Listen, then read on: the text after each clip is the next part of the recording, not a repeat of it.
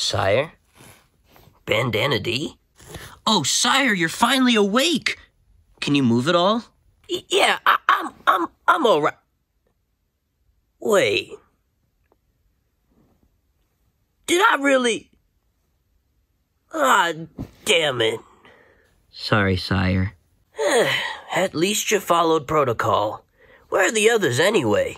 Well, Kirby left with Pac Man to do some sightseeing, and Meta Knight stuck around until I felt better. He left just a few minutes ago. I see. Real shame I didn't get to properly see any of them off. Yeah. Oh, I just remembered something I wanted to tell you, sire. Yeah? So, while Meta Knight was resting up earlier, I suggested that I could help him with his combat training. Well, what'd he say? Well, after that fight between you and me, he told me he'd love to do it, and he agreed to come over here anytime he wanted to train with me. Wow. I guess old Meta Knight must have been real impressed when you beat the daylights out of me. I.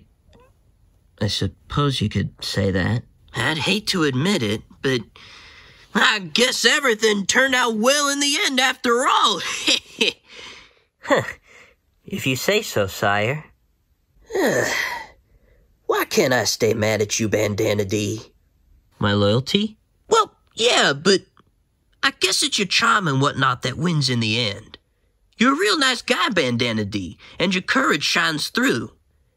It's no wonder that Kirby gets on so well with you. The two of you are practically kindred spirits.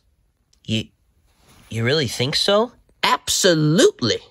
I'm glad you've got that opportunity now. You really deserve it. Oh. Oh, sire. Thank you. Hey, I think we could get Kawasaki to make some of those pastries for us. What do you say? That would be wonderful. Right then. Follow me.